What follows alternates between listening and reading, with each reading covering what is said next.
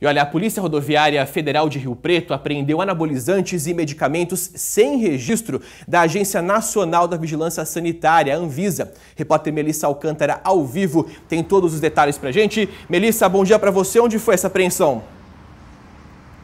Olá, Casagrande, muito bom dia a você, bom dia a todos. Foi no quilômetro 35 aqui da BR-153, município de Onda Verde. Foi durante uma fiscalização de rotina aqui da Polícia Rodoviária Federal na madrugada de domingo. Então, a polícia abordou e motorista e passageiros foram encaminhados para a sede da Delegacia de Polícia Federal aqui de São José do Rio Preto. Um dos suspeitos foi preso em flagrante por crime contra a saúde pública, o outro por crime de contrabando e a mulher foi ouvida e liberada. Segundo a Polícia Federal Casagrande, esses dois homens e a mulher levavam então esse material. A gente tem até uma foto desse material em um carro que saiu ali da cidade de Foz do Iguaçu, no Paraná. E durante o depoimento, o que eles disseram é que essa mercadoria seria vendida em academias de musculação na cidade de Uberlândia, Minas Gerais. Os suspeitos ainda vão responder por falsificação de produto medicinal e também por descaminho. E a gente aproveita, não é, Casa Grande, fazer o alerta